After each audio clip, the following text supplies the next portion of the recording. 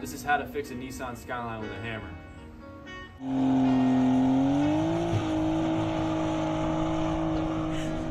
Today I'm going to be rolling the front fenders on my R32 Skyline GTST. The front wheels have been rubbing for a couple years, so I figured it's finally time to take the fender liners out, roll the front lips. I have already done the rear. I had a fender roller, which sucked, so I'm not gonna be using that. I'm gonna be using a hammer, some heat, and hopefully some finesse. This is all in preparation for some things to come. Want the car to sit a little bit lower, and right now it's about as low as it can go with the fenders being in the current condition. The wheel was rubbing on the tabs that connects the fender liner to the fender. So I took the fender liner out already. I just took the coilover out. I'm going to clean the inside of the lip, make sure there's no dirt in there. You don't want any dirt getting trapped in there when you either roll it or hammer it. Start heating it up with my heat gun. I would like it to be just enough where I could touch it, but it's not gonna burn me. This is my first time ever doing anything like this. I've never hammered a car. I don't know anything about bodywork, but I think we're gonna give it a try. Why not? These are the tabs that connect the fender liner to the fender. Using one of these with a screw through it.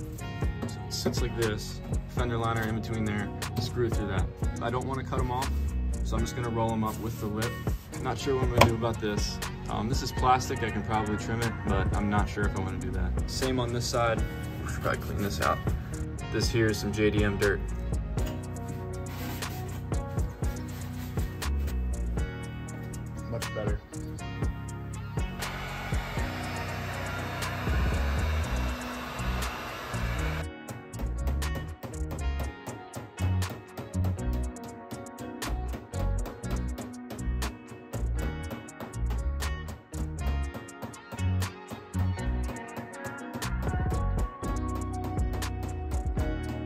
So this is the first pass.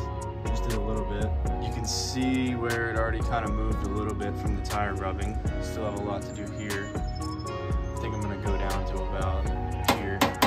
I'm gonna reheat this fender and do another slow pass.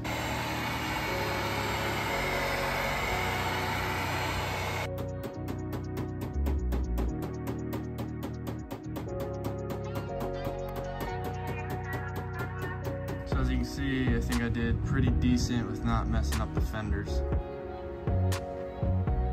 So much more room in here. This corner is the front bumper, which is plastic. So I'm gonna throw the coilover back in, I'm gonna lower it a little bit, test fit it, and just see what happens.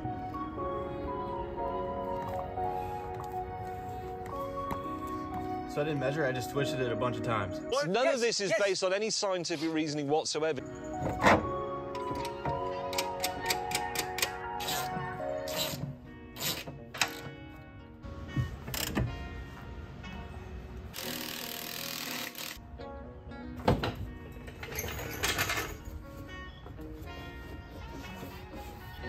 A lot more clearance now.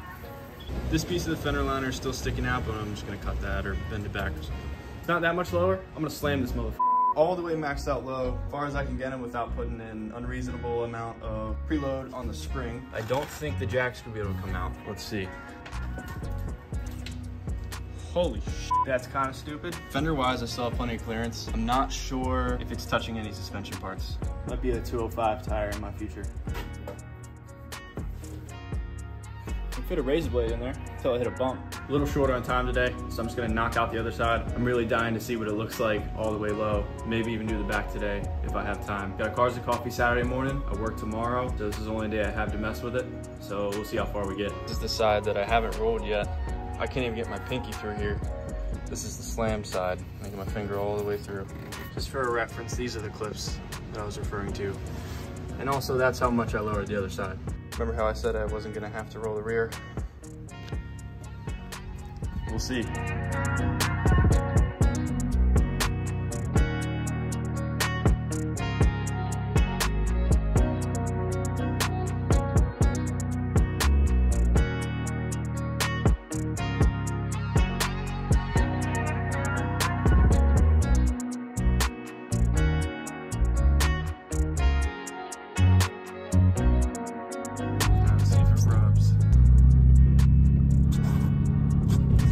Yep, it's this front right corner that I said needs to come up.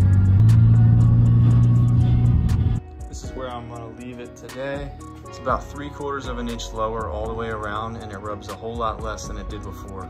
Going to order arrows soon, stay tuned for that. I think we can call that a wrap for today. I'll see you Saturday.